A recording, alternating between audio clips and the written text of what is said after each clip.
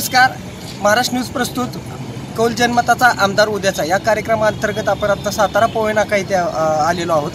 तर आपल्या आपण आत्ता सध्याला नागरिकांमधून काय प्रतिक्रिया आहे? एक आमदार त्यांना कसा हवा आहे?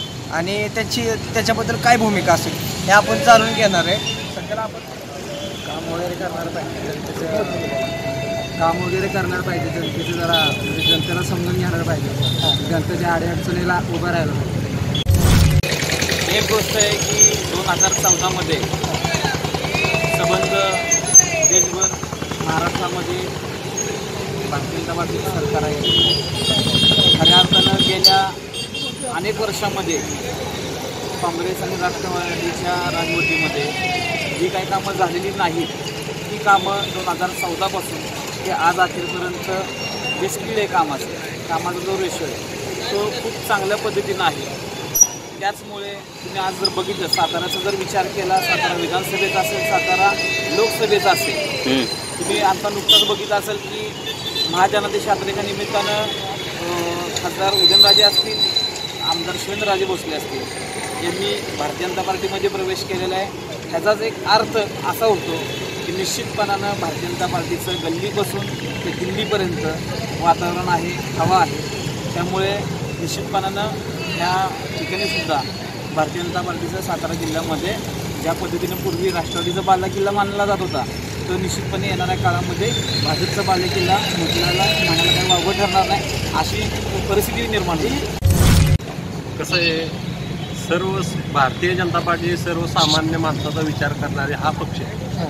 आणि माननीय आपले शिवेंद्रसिंहराजे भोसले हे भारतीय जनता पक्षामध्ये त्यांचं त्यांनी प्रवेश केला. आणि येत्या काळात भारतीय जनता पार्टीचे जे प्रतिनिधी जे उभं राहतील ते नक्कीच साताराचा विकास.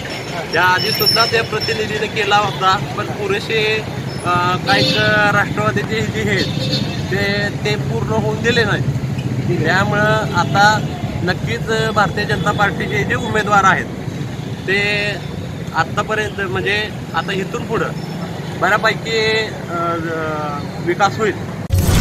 काय शिंदे शंभर टक्के लागणार तुमच्या मनातला आमदार कसा आहे? आमदाराची प्रतिभा काय? प्रतिमा काय तुमच्या मनामध्ये? शशिकांत शिंदे हे साहेब हे राष्ट्रवादीचे एकनिष्ठ आमदार आणि पवार साहेबांचे खरं म्हणा गेलं तर पवार साहेबांचे ते एकनिष्ठ आमदार म्हणून त्यांनी कुठलाही पक्ष म्हणजे आप- राष्ट्रवादीमधून ते कोरेगाव भागातून हे शंभर टक्के चांगल्या बहुमताने निवडून येतात शशिकांत शिंदेसारखा आमदार पाहिजे आम्हाला. नाही. कारण आमच्या गावातले कामं भरपूर केलेले आहेत. पाण्याच्या टाक्या रस्ते पेवर नळ हे सगळ्या आम्हाला सगळ्या सुविधा आहेत. आमच्या ग्रामपंचायतला येतात सगळ्या आणि त्याच साहेब स्वतः. तर आम्हाला सगळं मिळतंय की. तर आमचा आमदार इथनं हलणारच नाही? अडचणीला म्हणले तर आमच्यापर्यंत. येतात ते आमच्यापर्यंत. शशिकांत शिंदे साहेबच आमदार लागणार. शिंदेकडून काय तुमच्या अपेक्षा आहेत का? तुमचं नाव तुम्ही घेताय नाव म्हणून? झालं की आम्ही कामं करावे अशी अपेक्षा आहे.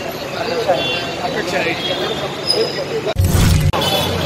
आमदार म्हणजे गोरगरीब जनतेचे किंवा जी काही रखडलेली भागामध्ये कामं असतात ते काम करणार असावं. आता साताऱ्यामध्ये मागच्या पाच वर्षामध्ये तुमच्या संघामध्ये तुमच्या लोक तुमच्या विधानसभा संघामध्ये काय प्र- झाली?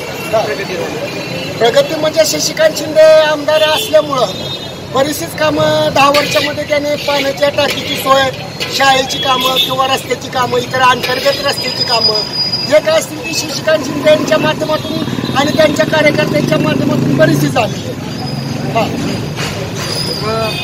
आता तुमचे काय अपेक्षा आहेत की त्यांनी अजून काय पुढे करावं? पुढं अजून त्याने जे आता हे मेडिकल कॉलेजसाठी जरा थोडंसं लक्ष घालावं. आणखीन काय उर्वरित जी अंतर्गत रस्त्याची सोसायट्यामधली असू देत वसाहतीमधली असू देत किंवा आणखीन काय ब- जी कामं आहेत पाण्याचा जरा बराच प्रश्न आहे आहे या विभागामध्ये. तर तो मार्गी लावावा आणखीन. तसं त्यांचं काम भरपूर आहे. त्यांना सांगावं लागत नाही. आणि सांगितलं तर लगेच ते काम होतंय. आमदार कसा कसा असावा? चांगला चांगला असेल. ते- त्यांच्याकडून तुमच्या अपेक्षा काय? चांगलीच कामं करून घ्यायची चांगली कामं त्यांनी करावी आता पाच वर्षामध्ये काय कामं झाली का? झालेत. शशिकांत शिंदे साहेबांनी बरेच काम केले. तर कोरेगाव विधानसभा कशी आपण अं, विधानसभा संघामध्ये आपण इथे आता आहोत. संपूर्ण माणसांचा कल हा शशिकांत शिंदे आमदार व्हावे यासाठी आहे. आणि इथून पुढेही ते असे चांगले आणि छान कामं करत राहावे असं सर्वजणांची इच्छा आहे. कॅमेरामॅन जाधव सोबत नंदकिशोर नेपाने महाराष्ट्र न्यूज सातारा.